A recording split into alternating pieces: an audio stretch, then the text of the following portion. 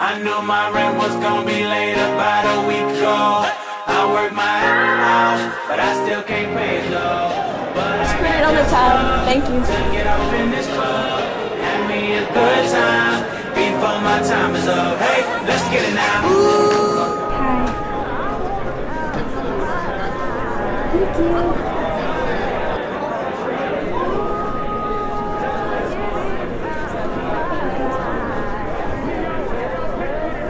Thanks. Hello. What's up, man? What you doing here? Yeah, no alternate team three days, but this is my favorite band, alright? You gotta let me Man, I can't. do it for you. Know. All right, this last time. Thanks. Don't make me regret it. What's up, man? Really. Oh, Rhode Island. Here visiting some family, man. All right, man. Go ahead. dick. I told her wanna ride out, and she said yes. We didn't go to church, but I got I knew blessed. my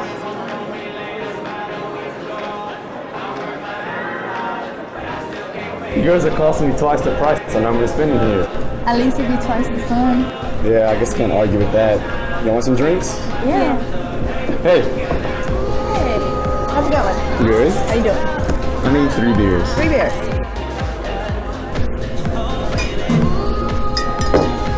All be for you. They are. All right. Alright, let's go have some fun. Party every night, like my last. Mom, you know the drill. Shake that. Go ahead, baby, let me see what you got. You know you got the biggest booty in this spot. And I just wanna see that thing drop. From the back to the front to the top. You know me, I'm off in the cut. Always like a squirrel, looking for a nut. This is up for show, I'm not talking about luck. I'm not talking about love, I'm talking about lust. Now let's get loose, have some fun. Forget about bills in the first of the month. It's my night, your night, our night. Let's turn it up. I knew my rent was gonna be late ago. I worked my ass off, but I still can't pay it though. But I got just enough to get off in this club.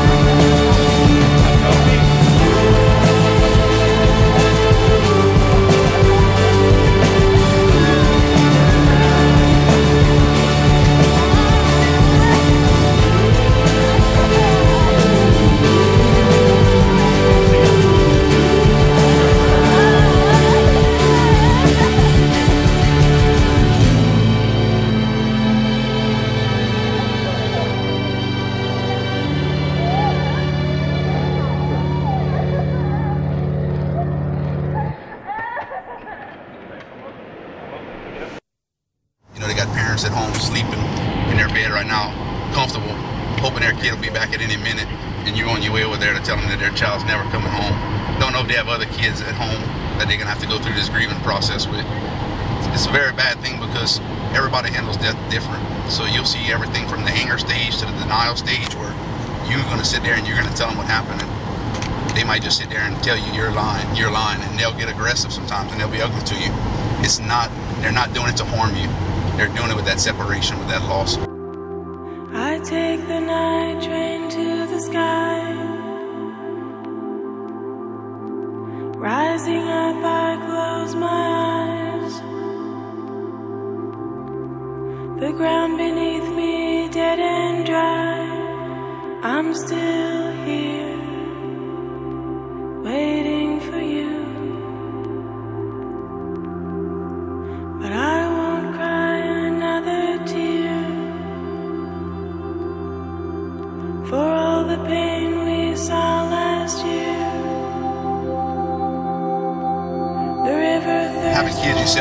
see that. You always want, you want to be that protector. You want your child to be safe. So when somebody's knocking at your door at 1, 2, 3 in the morning, telling you, I'm sorry to inform you, but your child's not going to be coming home. Not tonight, not ever. And we need you to go over there and identify them so you can start making funeral plans.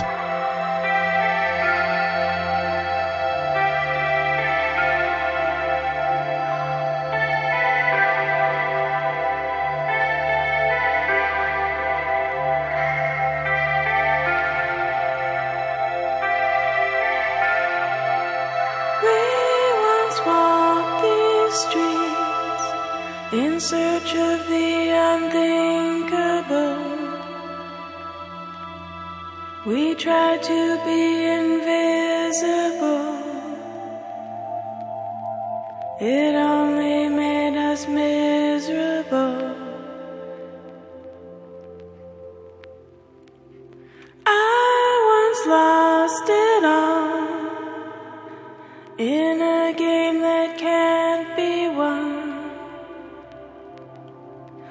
took a chance and had to run. The river was the only one.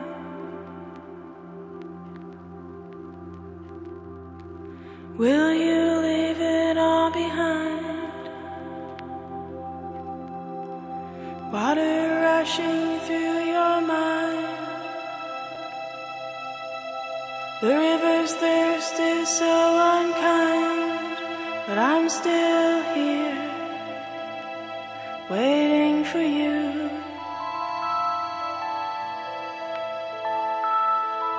It just, that's one thing in this career. It doesn't matter if you do it one day, one year. It's never to get easy. It's never to get easy to go tell somebody about a death.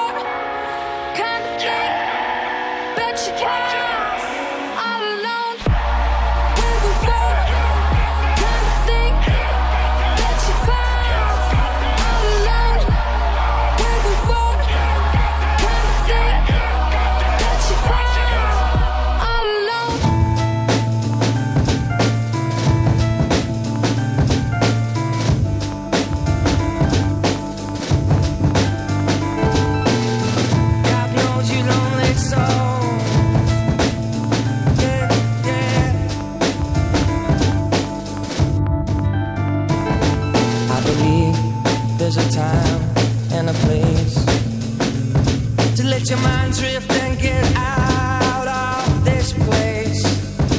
I believe there's a day and a place that we will go to, I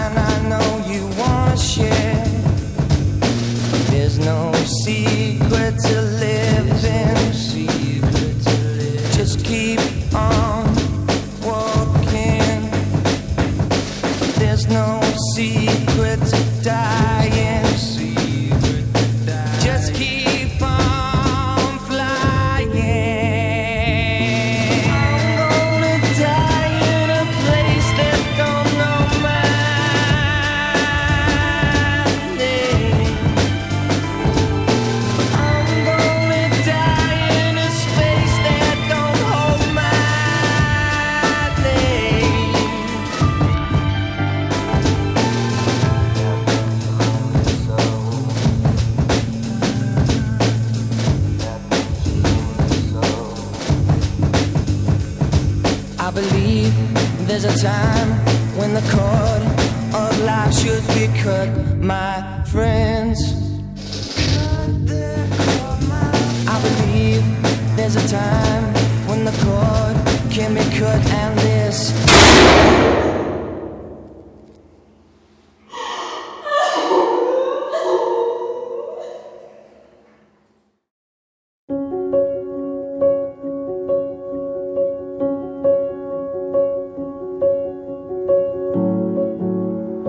Some saw the sun,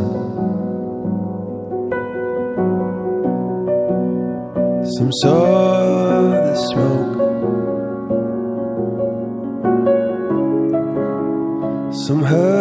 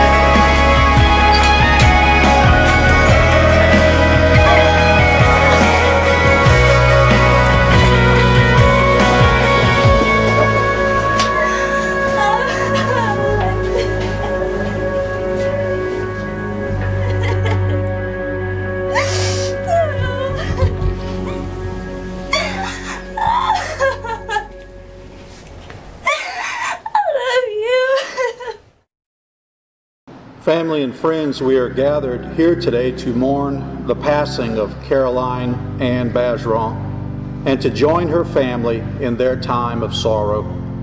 She is survived by her parents, Frank and Dawn, by her sisters, Gracie and Lindsay, her paternal grandparents, Frank and Geraldine Bajeron, her maternal grandparents, Dirk and Helen Mathern, three great grandmothers,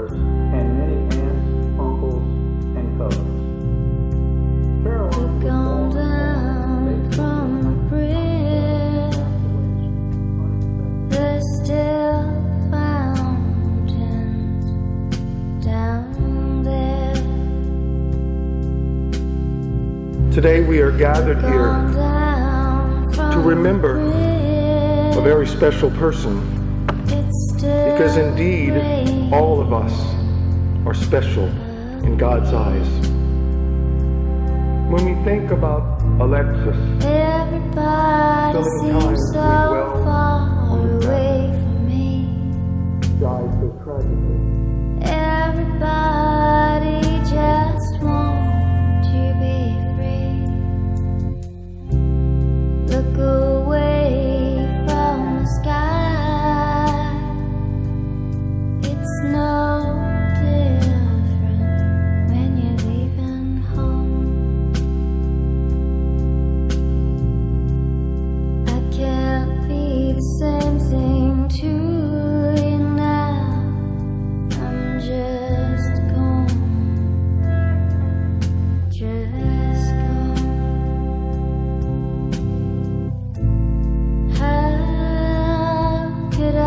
say goodbye? You took away my baby girl. How could I? I'll never have a chance to hold her again. I'll never have a chance to tell her I love her again. I won't ever have a chance to hold her. We, she had a future. She had dreams. You took that from me. You took that from my family. I can't get that back.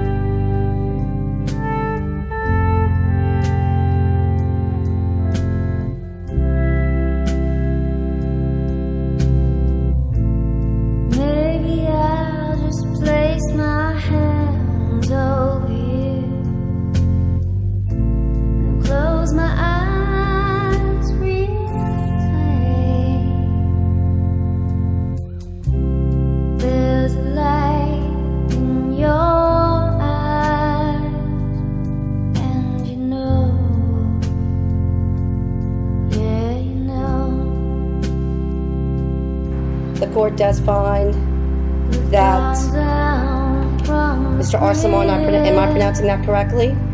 That Mr. Luke Arsamon is guilty of one count of vehicular homicide.